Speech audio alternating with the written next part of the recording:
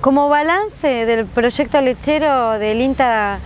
Centro Regional Santa Fe, eh, destinado a toda la provincia de Santa Fe en estos últimos tres años, hemos logrado capacitar a numerosos tamberos de la provincia, articulando con numerosas comunas de la provincia de Santa Fe, eh, desde Pozo Borrado hasta la zona sur de la provincia, Venado Tuerto y otros distritos cercanos.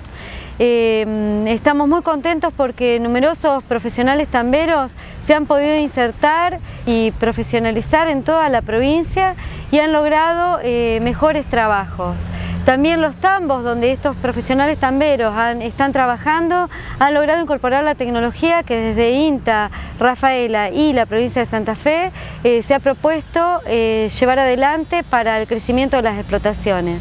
no solamente a nivel de los profesionales tamberos, sino también de los profesionales eh, y de los productores se han logrado cambios. Eh, a nivel de las agencias de extensión de INTA en toda la provincia se llegó a implementar eh, conceptos de buenas prácticas lecheras, ensayos en campo de productores, incorporar la tecnología propuesta por los grupos de cambio rural, las estrategias provenientes de INTA a nivel nación, eh, INTA lechería para ser aplicadas en nuestra región. Metodología que eh, en los momentos de verano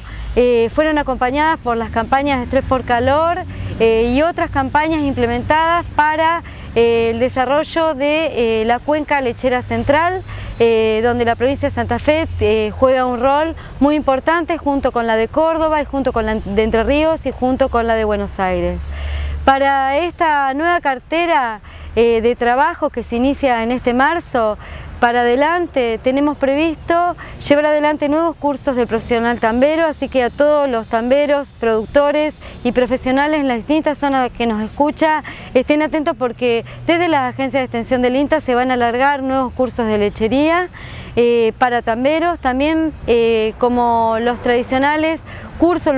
cursos para mm, productores caracterizados por las jornadas para productores se van a llevar adelante desde la experimental de Rafaela y también los tradicionales cursos para cursos o jornadas para profesionales, tanto la de cultivos de invierno como cultivos de verano, como la que está abocada de los últimos años para profesionales y productores que se hace en Inta Rafaela, desde lo que es lechería y también desde lo que es cultivos eh, tradicionales. Tenemos pensado también llevar adelante desde las agencias de extensión las típicas este, ensayos en campo de productores eh, que son promovidos por las agencias de extensión, tanto para lo que son cultivos de invierno, forrajes, pasturas y también para lo que es este, ganadería y lechería. Y por supuesto el tradicional seminario de estudiantes universitarios que está previsto para octubre de este 2013. Sin antes eh, decirles que vamos a trabajar fuertemente con las escuelas